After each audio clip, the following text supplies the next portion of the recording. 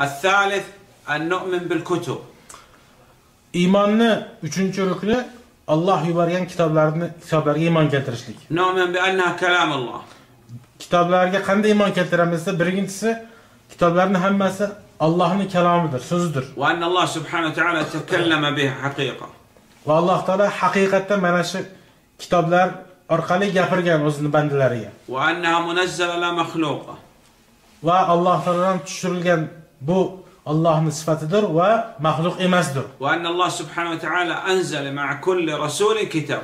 Rasul ma'a kitob. Va har bir rasulga Alloh taolodan tarafidan kelgan elchiga, rasulga kitob tushirilgan. Mana shunga iymon keltiramiz. Nu'min bi kutub.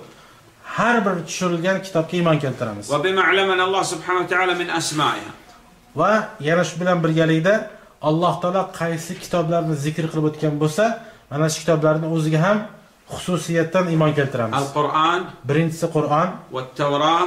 توراة والإنجيل. إنجيل إيمان كالترامس. والزبور. وزبور وصحف إبراهيم وصحف موسى عليهم الصلاة والسلام. إبراهيم عليه السلام تشرجن صحيفة درجة وموسى عليه السلام تشرجن صحيفة درجة إيمان كالترامس. ونوم بما فيها من أخبار وأحكام وأو كتاب لردك كيجان أحكام لرجة حكم لرجة وخبر لرجة هم إيمان كالترامس. وأنها نسخت بالقرآن يعني لا نطالع إلا القرآن.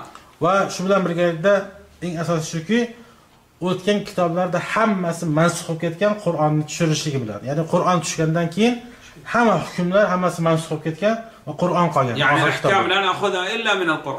ahkomlar masalasida ahkomlar masalasida bo'lsa ahkomni hukmlarni faqat qur'on va sunnatdan olamiz.